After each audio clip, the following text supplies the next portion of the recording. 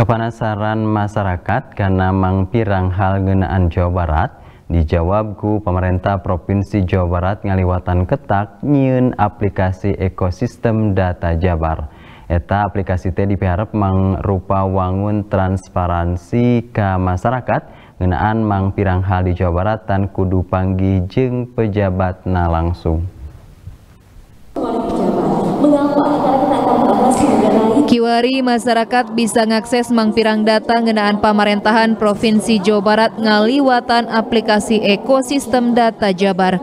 Eta portal data nu bisa diakses ku masyarakat Jawa Barat teh kapasing kana tilu aplikasi nyaeta Open Data Jabar anu bisa diakses ku masyarakat umum, satu data Jabar anu mangrupa portal mangpirang data antar perangkat daerah, tapi ka satu peta Jabar anu diwewegan ku data geoparsial. Kabid Statistik Dinas Komunikasi dan Informatika Jawa Barat Idaning Rum ngejeskin masyarakat ge bisa menta ekosistem data Jabar midangkeun data anu dipikaharepna ngaliwatan fitur request data.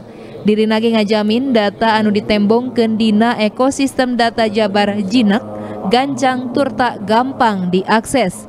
Itu masyarakat juga bisa meminta uh, pingin data apa gitu bisa juga. Ya, kebetulan di aplikasi Open Data Jabar terdapat fitur request data. Silahkan masyarakat kalau memang ingin mendapatkan data yang belum terdapat di Open Data, silahkan uh, mengisi uh, apa kebutuhan data dalam fitur tersebut. Ya, itu ada jaminan nggak Bu untuk uh, keakuratan dan kecepatan data yang di, ditampilkan di ekosistem data? Insya Allah karena memang upaya kita menampilkan data dalam sebuah uh, platform yang berupa aplikasi itu memang tujuannya kecepatan, kemudahan, dan keakuratan data.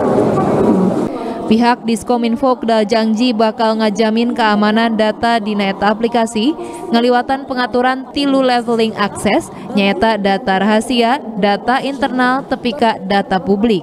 Samalah eta aplikasi ekosistem data Jabar G diwewegan ku sistem persandian ke ngaman ke data. Budi Hartati, Bandung TV.